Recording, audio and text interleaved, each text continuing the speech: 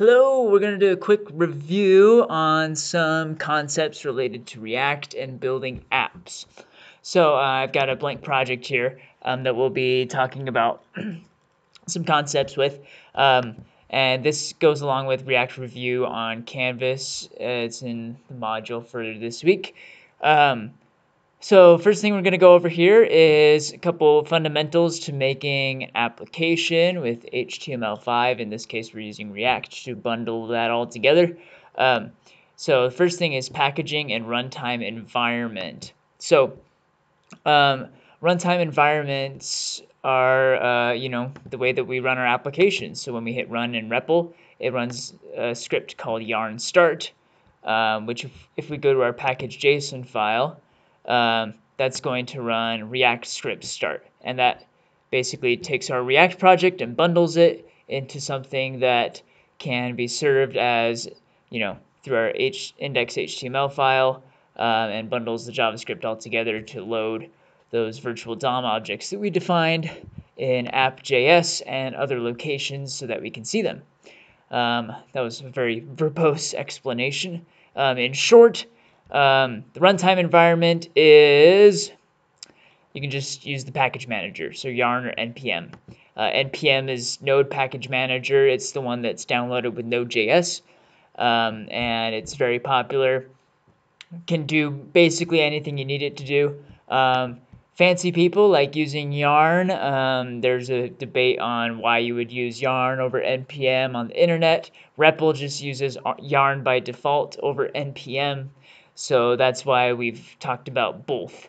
Uh, we just have npm on the computers because it does all this all the same things as yarn does for our purposes. Um, they are they do have different functionality, but um, they allow they both allow us to download the packages that we need. Um, so those packages that we that, uh, need to run our project are called dependencies. You can see them in your package.json file, um, and in REPL, these are all located under the Packages tab um, in a regular project somewhere else, like in VS Code. They're all stored in a Node Modules file, uh, Node Modules folder, excuse me, and that contains all the JavaScript files required to make our project that we then import using those ES6 imports at the top um, to uh, make our project happen in React.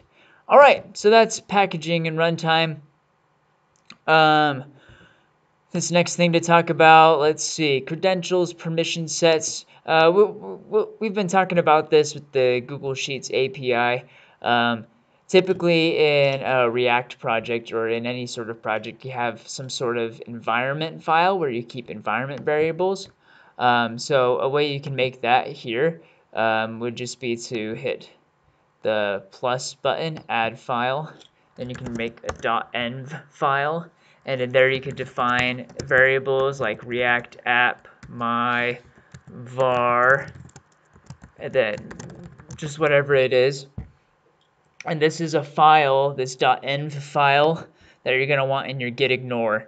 Um, so sometimes they um, add this file extension local or um, development or things like that on the end of this .env file. Uh, we'll just add .env to our git ignore. You don't want these sort of variables on a public repository or something like that because if you expose like an API key or like some login credentials or something um, that completely, you know, trashes the security of your application and you're going to get charged hundreds of dollars on AWS or whatever you're using.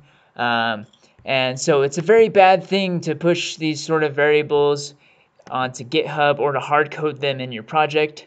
Um, so that's why we have the .env. Um, and you can access these variables um, using process.env and then whatever the variable name is in your project. Um, this is true for React and Node and other JavaScript related things. Um, we'll see if the console logs are variable here once the project starts. Okay, project started. Let's go to a new tab, F12, so we can see our console. And there's our variable that printed out hello. You can see it there. Cool. So that's that's a little bit about credentials and the host process and stuff like that. So the host process, you know, is this process variable that we can access, um, and then the environment, um, and yeah, and then the app package that gets shipped. Um, that all has to do with uh, whatever's in index.js. So in our case for React project, we have um, you know, our app component um, getting uh, rendered under the root um, element of our public uh, index HTML. So in index HTML of a React project, you're given a div with an ID of root. And then when you do yarn start or npm start, um, it adds all of the other objects to this particular element from index.js. This is the entry point to the project. And uh, when you do yarn uh, build or npm run build um, to, you know, package up your project and write write some JavaScript files and things like that that you can then serve um, from like a static host hosting service like Netlify or something like that. Um, then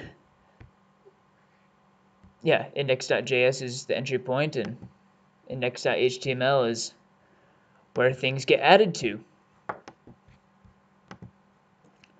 All right, hopefully I covered those okay. Uh, next thing to talk about is the state of an application. Along the way, we're going to cover a couple of these things. So, uh,